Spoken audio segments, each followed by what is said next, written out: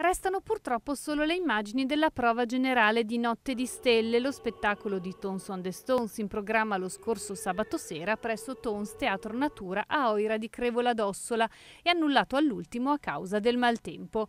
Il festival però prosegue. Da domani 27 luglio al 1 agosto torna Next Tones, il festival internazionale nato nel 2014 che, alla sua tradizionale identità sperimentale nel campo dell'arte audiovisiva e della musica elettronica, incorpora da quest'anno lo spirito di ricerca e di indagine sul territorio di Before and After. La sezione si apre domani nello straordinario scenario di Gash con la compositrice e producer torinese Sara Berz. Il giorno dopo, 28 luglio, ci si sposta in un altro luogo che non sembra appartenere a questo mondo, gli orridi di Uriezzo, con il musicista e sound artist giapponese Tomoko Sauvage. Non mancheranno poi altri progetti site specific, workshop e performance itineranti sul territorio ossolano e Tons Teatro Natura fino a domenica.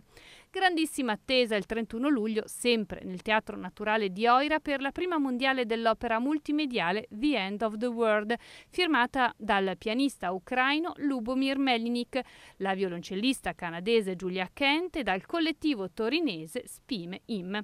Una performance immersiva di grande impatto. La partitura, come il titolo suggerisce, denuncia il disastro ecologico e ambientale che il pianeta Terra sta affrontando per mano dell'uomo.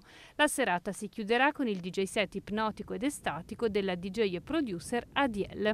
Il programma del festival prevede poi dal 6 all'8 agosto Awareness Campus pratiche di consapevolezza nella natura e ancora una serie di appuntamenti musicali e a settembre il festival dedicato alla montagna.